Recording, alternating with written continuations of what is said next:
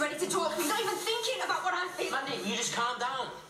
This morning I had the rest of my life mapped out. I was going to get the restaurant, I was going to marry Luke, social services were going to see what a good place I was in, and I was going to get Ella back. Man Mandy. And now I'm not going to get any of that. Yes, you are. No, I'm not, because Luke, stop.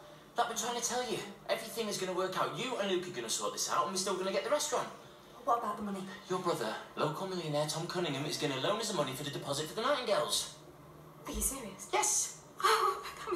can tell social services I am the owner of a thriving business and I'm so